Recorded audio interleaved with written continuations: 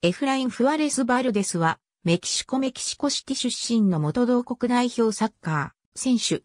現役時代のポジションは主に、サイドバック。2001年に地元のアナム・プーマスのユースチームに入団し、サイドバックとしての才能を開花させる。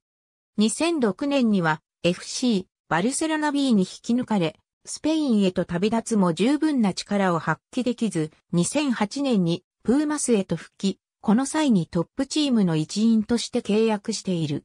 2010年7月17日にスコットランドのセルティック FC に移籍。2011年7月28日、スペインのレアルサラゴサにレンタル移籍。メキシコ代表としては2005年の U-17 メキシコ代表への招集を皮切りに年代別代表のディフェンスリーダーとして活躍。